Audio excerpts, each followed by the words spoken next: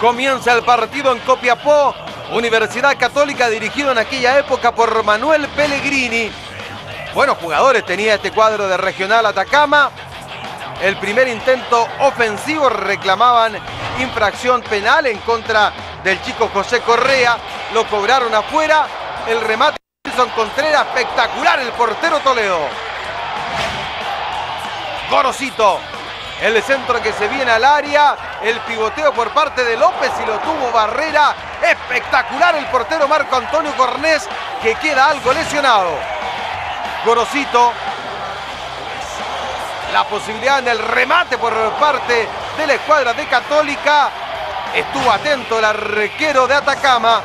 El centro que viene de Corró. Llegaron varios arriba.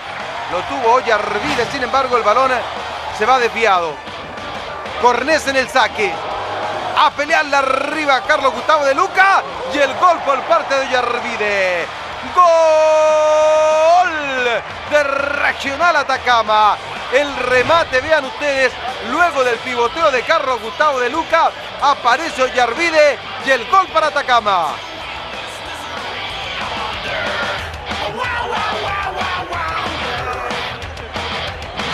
Manuel Soto era el entrenador de Atacama. Veamos el centro de Gorosito.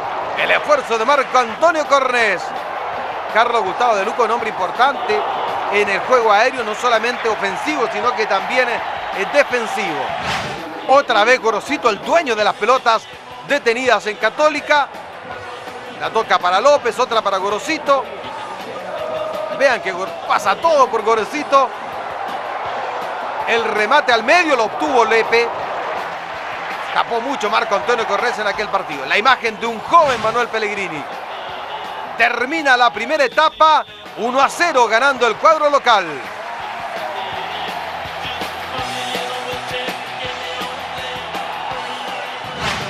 Ya estamos en el segundo tiempo. El centro de Corró sale jugando en el contragolpe solamente en forma parcial el equipo de Católica porque aparece Contreras y es el gol por parte de Carlos Gustavo de Luca. Recordemos que Atacama fue sexto en aquel campeonato del año 1994 que fue campeón la Universidad de Chile con 49 puntos, mientras que Atacama obtuvo 31 con un 52% de rendimiento. Católica casi rosa la gloria. Católica fue segundo, 48 puntos, un 80% de rendimiento, un 2% menos solamente que el campeón en esa oportunidad como fue la U. El remate de Gorosito sin problemas, Marco Antonio Cornés. El centro al área y aparece Daniel López, pero se había cobrado infracción, estaba todo anulado. Vean la reiteración, un enredo tremendo en el área, la insistencia de Barrera que comete infracción en contra del arquero atacameño.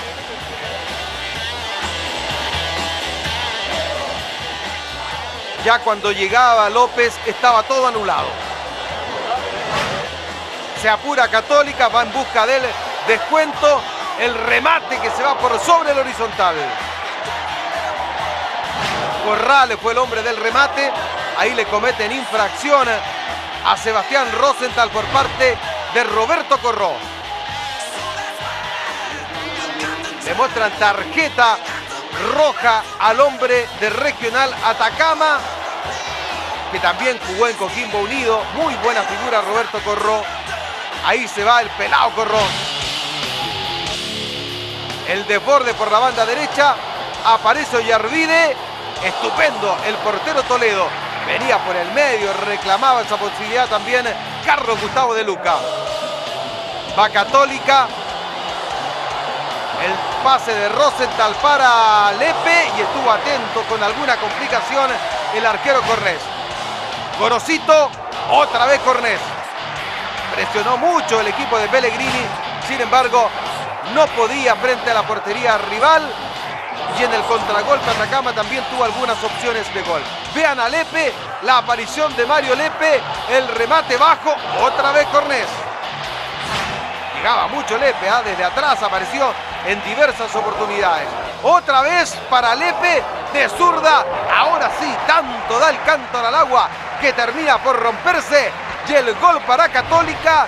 Mario Lepe Un delantero más en este partido. El descuento para Católica. Vea la reiteración desde atrás. No puede el arquero del Regional Atacama. Otra vez Gorosito. Otra vez también el portero Marco Antonio Cortés. El partido que concluye, el señor Marín dice que gana Atacama por 2 a 1.